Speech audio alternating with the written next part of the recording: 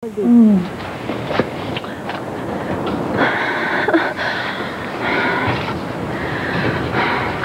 Okay. Throw the book at me. Lecture me on my moral shortcomings. I deserve it. Do you want me to leave?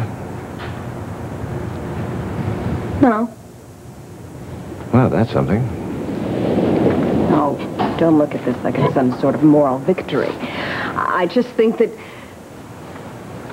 I was thinking about it, and I think that you're right about this one thing. I mean, we have to find out who killed Sasha, and if we do it separately, it'll just take too long. Hmm. So we're brought together by exigency. I had a rosier picture of things somehow. Well, you take what you can get, I guess. Do you have any other theories about who may have tried to shoot Ethan when Sasha got in the way? Well, I did have a chance to go through the files down at the courthouse. Ethan hasn't received any recorded death threats by mail or phone. None that have been reported, anyway. I kept wondering about Laura. Or is that just another sign of my advancing dementia? Police, it's all over.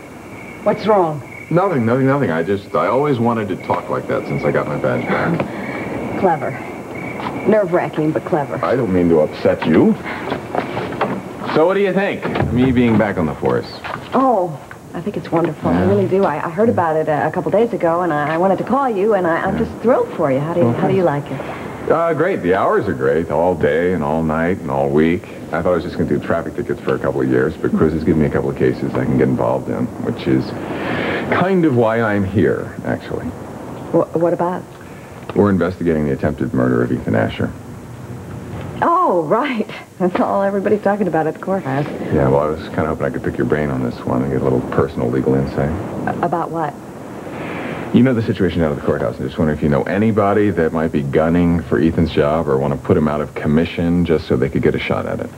Oh, I don't know anybody who would, who would want to kill Ethan. I, I mean, there's this normal backstabbing Right, that goes on in the courthouse fraternity, but that's not literal. And boy, I just uh, can't think of anybody, but I'll give it some thought. Okay, well, I remember that Ethan and Mason were against each other in the election, but I don't think Mason's really the murdering kind. Oh, no. I don't either. No. So how are the two of you doing? Great. Yeah. We're doing great. He's moved back in here, and Samantha, of course, is very happy. Good, I bet she is. And how about you? Are you happy? Yes, I'm very happy. Uh, while I'm adjusting, you know, and if at first you don't succeed, try, try, try again, right? Right, right, right. Oh, Hello. Uh, is Mason Capwell there? Oh, I'm sorry, it's not. Can I take a message? Uh, uh, this is the caretaker up at the cemetery. Uh, Mr. Capwell wanted me to keep a special eye on things. Ha- has something happened? Uh, I'm his wife. Oh, well, um, I just heard some weird noises around the Capwell crypt. Really? All right, I'll let Mason know as soon as he gets in. Thanks for calling.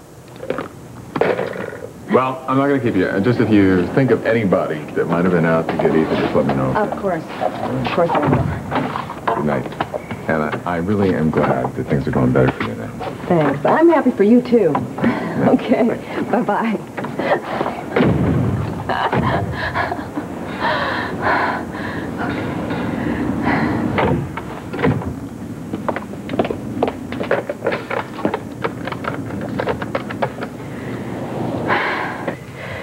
Oh, here she is now.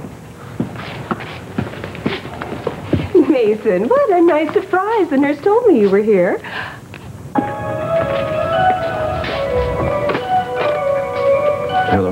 Mason, there's some kind of trouble at the cemetery. What do you mean? I just got a call from one of the security guards. He said there's some strange noises from around the crypt. Well, could have been somebody from the family visiting. They do bring flowers sometimes. But what if it wasn't? Well, then I think you better meet me at the main gates in half an hour so we can check things out for ourselves. All right, a half hour. And if you're late, I'll kill you.